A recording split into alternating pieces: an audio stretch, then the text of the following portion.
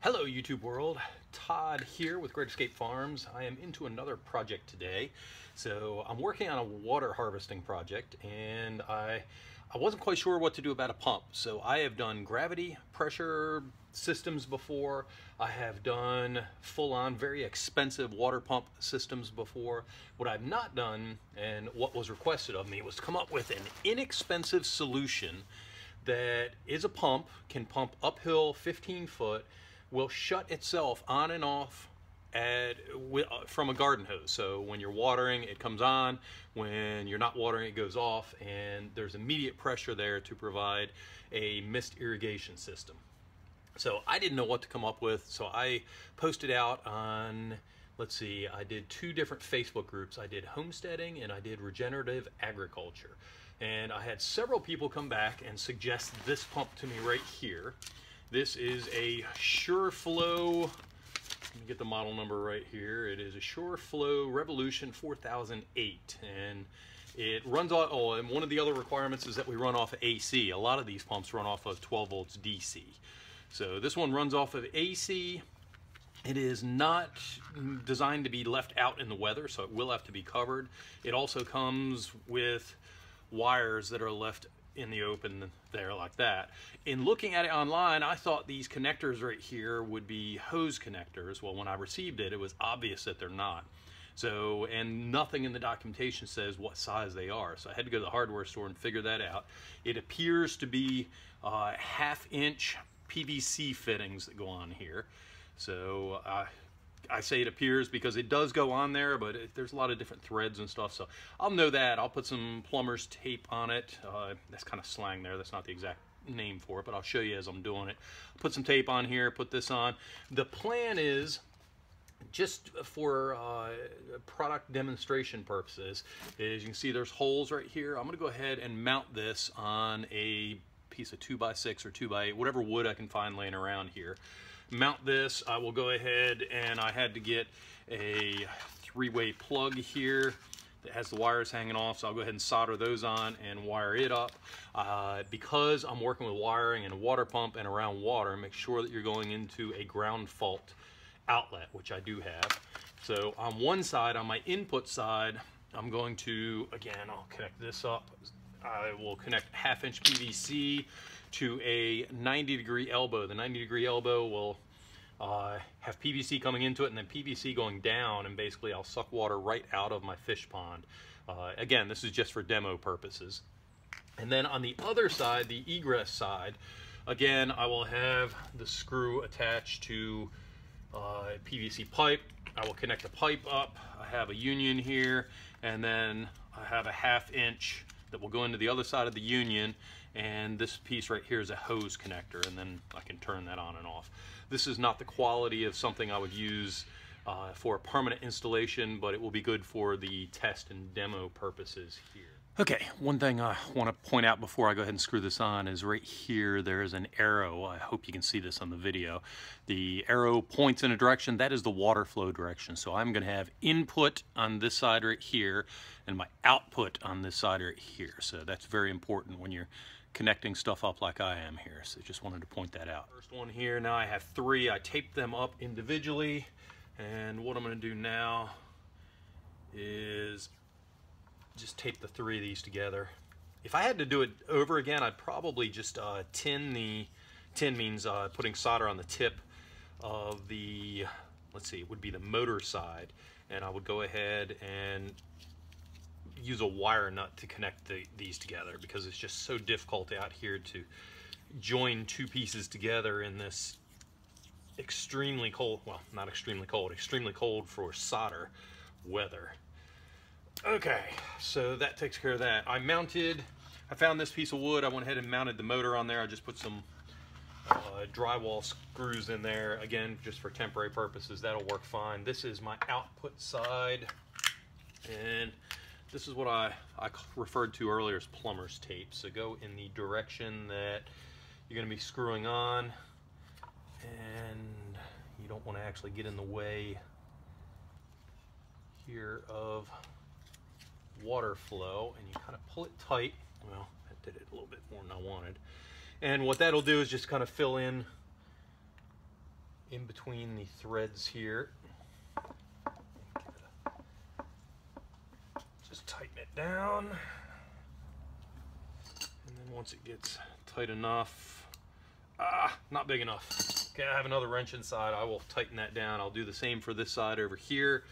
Uh, then I'm going to glue, and I got all my pieces cut here, and I just used a hacksaw right here to cut them. Uh, I measured out the size I want. Again, I'm not being precise here because this is just for test purposes.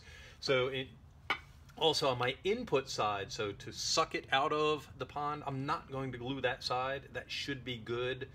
I hope. This is a self-priming pump and I should be able to push that tight enough.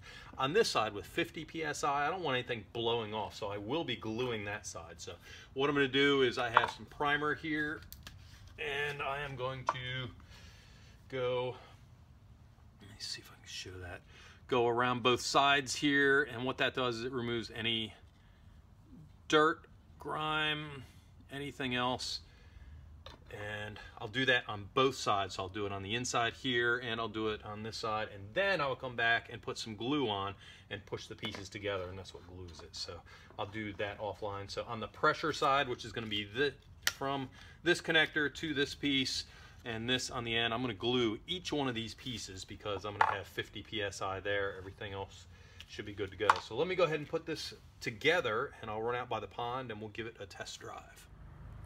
Okay, we are all set up here. I have this end in the water. I am coming up to the pump.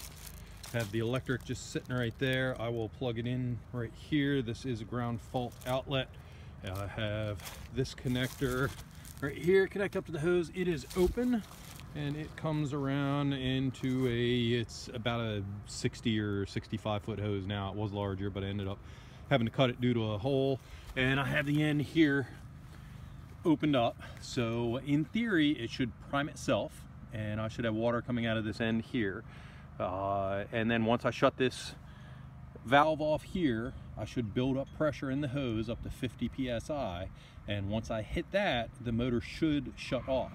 And then when I turn it back on, I should have instantaneous pressure shooting out.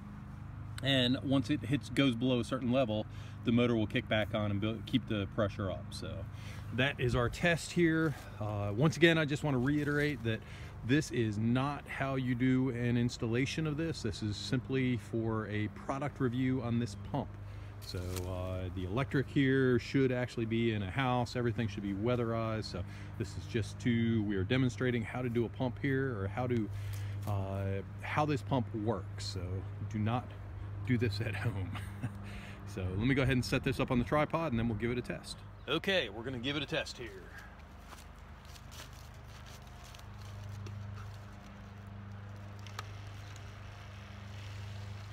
Hear water flowing.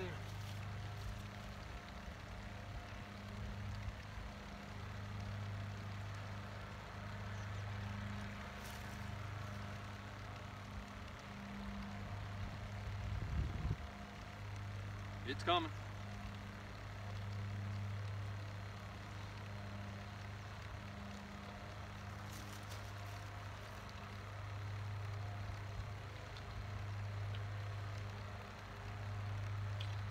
And there it is. So shut it off. Pump is running. I hear pressure building and it shut off. Let's see how much we got here.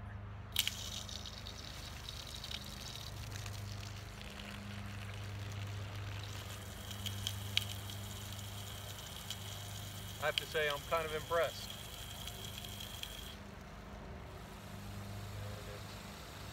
building pressure, it shut off again, back on.